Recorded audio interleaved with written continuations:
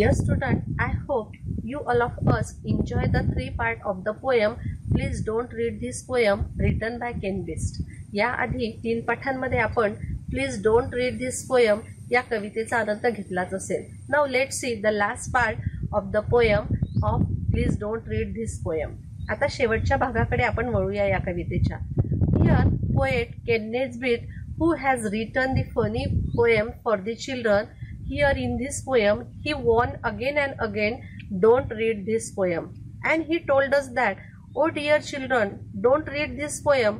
Come out of the house and play with your amigo. Amigo means friends.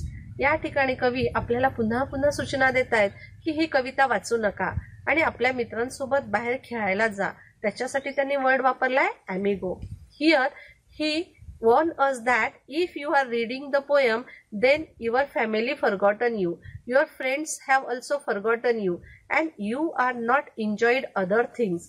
Actually, he wanted to read his poem from first line to last line. ते या ठिकाणी मुलांना सांगू इच्छितात की जर तुम्ही ही कविता वाचत बसलात तर कदाचित तुमच्या कुटुंबातील सदस्य तुम्हाला विसरतील तुमचे मित्र तुम्हाला विसरतील. परंतु त्याचबरोबर ते या ठिकाणी मुलांना उत्तेजित करतात की ही कविता तुम्ही वाचा. Dear student in this poem the poet Kenn बीज has given so many instruction please don't read this poem and he told us that to enjoy the poem from first line to last line या कवितेमध्ये आपणास पुन्हा पुन्हा फक्त एकच सूचना केलेली आहे की ही कविता वाचू नका.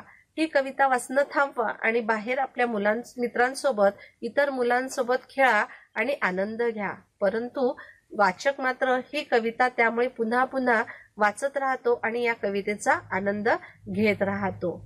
थँक्यू